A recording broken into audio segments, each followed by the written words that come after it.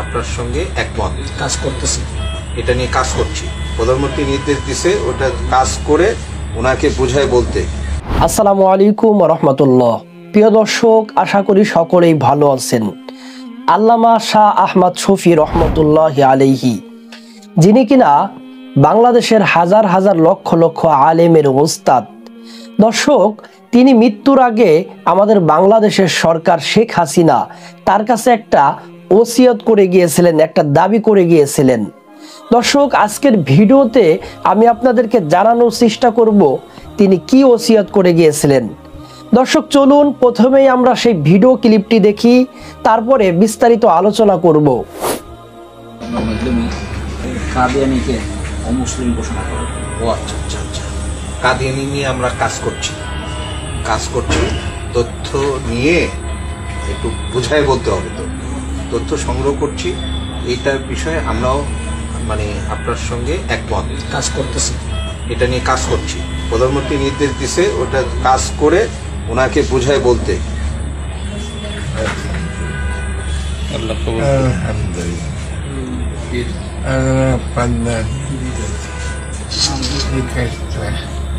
কবুল করে যাইতে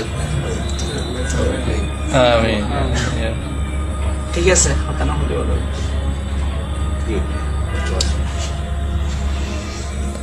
দর্শক, আপনারা ভিডিওটি দেখলেন আল্লামা শাহ আহমদ শফি রহমতুল্লাহ আলাইহি মৃত্যুর আগে আমাদের বাংলাদেশের সরকারের কাছে ওসিয়ত করে গিয়েছিলেন এবং দাবি করে গিয়েছিলেন কাদিয়ানিদের যেন অমুসলিম ঘোষণা করা হয়।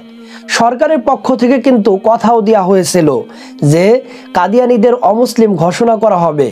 সেই কথাটা কিন্তু এখনও পর্যন্ত কার্যকর করা হয় নাই। আমি মনে করি আমাদের বাংলাদেশের সরকার তিনি একজন সুন্নি মনা মুসলমান এবং তিনি শাহ আহমদ শফি রহমতুল্লাহ আলাইহিকে কথা দিয়েছিলেন, এই বিষয়টি দেখবেন।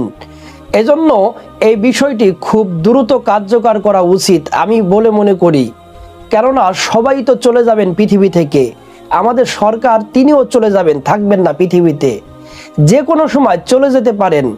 আর এই কথা দিয়ে যদি কথাটা না রাখেন, তাহলে কেমন হয় দেখুন বিষয়টা। এজন্য আমাদের সরকারের উচিত এই কথাটি দ্রুত কার্যকর করা। দর্শক, একটা বিষয় আমাকে খুব বেশি ভাবিয়েছে। বিষয়টি হলো, মানুষ যখন মৃত্যুর কাছাকাছি চলে যায়, তখন নিজের মৃত্যু নিয়েই পেরেশান হয়ে যায়। আর আল্লামা শাহ আহমদ শফি রহমতুল্লাহ আলাইহি মৃত্যুর আগেও এই টেনশন করেছেন। কাদিয়ানিরা যেন আমাদের হজরত মোহাম্মদ সাল্লাহ আলিহাসাল্লামের খতামুন নাবিয়িন নিয়ে যেন কোনো বিয়াদবি না করে এবং আমাদের বাংলাদেশের সরকারের কাছে তিনি অনুরোধ করেছেন, ওসিয়ত করে গিয়েছেন, যেন তিনারা আগেই তাদেরকে কাফের ঘোষণা করে দেয়। মুসলমান নাম দিয়ে যেন তারা মানুষকে বিভ্রান্ত না করে। দর্শক হ্যাঁ অনেকে হয়তো বা আল্লামা শাহ আহমদ শফি রহমতুল্লাহ আলাইহির মাসলাগত অনেক দিক থেকে আপনি একমত নাও হতে পারেন। দেখুন, পৃথিবীতে অনেক অনেক আলেম এসেছে, কিন্তু পৃথিবীতে কি একজন আলেম দেখাইতে পারবেন যার মাসলাগত দিক থেকে সবাই একমত ছিল? যেখানে মোহাম্মদ সাল্লাহ আলী সাল্লাম তিনাকেও সবাই পছন্দ করতো না। আর সেখানে তো একজন মাত্র আলেম দর্শক, আমি প্রত্যেকটি আলেমকেই ভালোবাসি। হ্যাঁ মাসলাগত দিক থেকে হয়তো বা আমার সাথে অনেক আলেমের সাথে মিলে না। কিন্তু আমি প্রত্যেকটা আলেমকেই আমার হৃদয় থেকে ভালোবাসি। প্রত্যেকটা আলেমেরই একই কালেমা, প্রত্যেকটি আলেমই কোরআন ভালোবাসি প্রত্যেকটি আলিমই যারা হজরত মোহাম্মদ সাল্লাহ আলী সাল্লামকে শেষ নবী হিসেবে মানে প্রত্যেককেই আমি ভালোবাসি। দর্শক, ভিডিওটি ভালো লাগলে শেয়ার করে দিবেন। চ্যানেলটি সাবস্ক্রাইব করা না থাকলে সাবস্ক্রাইব করবেন। আসসালামু আলাইকুম রহমতুল্লাহ।